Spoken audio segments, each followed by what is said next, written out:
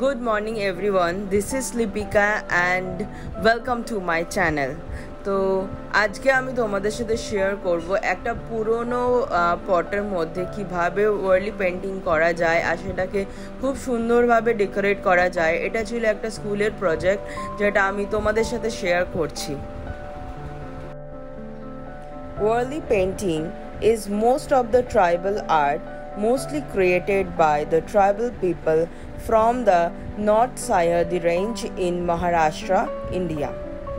This range encompasses cities such as Dahanu, Talasari, Jawhar, Palghar, Mokhada, and Vikramgarh of Palghar district. This tribal art was originated in Maharashtra, where it is still practiced today. The Warli painting tradition in Maharashtra are among the finest examples of the folk style of paintings the Warli tribe in one of the largest in India located outside Mumbai. Jivya Soma Mase, the artist in Thane district, has played a great role in making the Warli paintings more popular. The Warli paintings use a set of basic geometric shapes a circle, a triangle, and a square. These Shapes are symbolic of different elements of nature.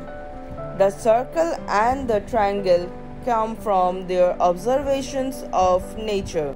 The circle represents the sun and the moon, while the triangle represents mountains and tree, and the square represents to be a human invention, indicating a sacred enclosure or a piece of land.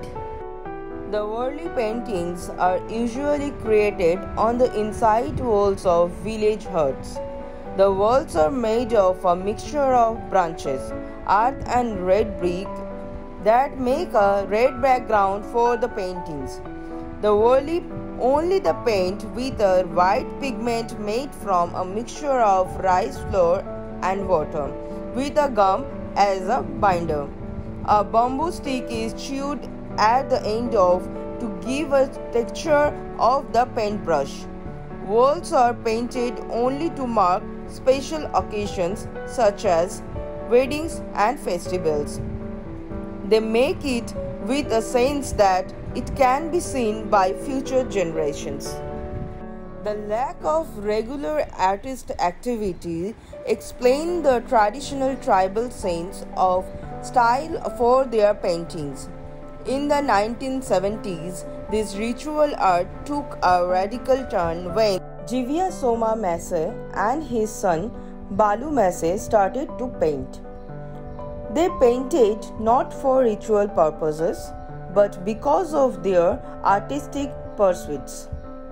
Jivya is known as the modern father of Warli painting.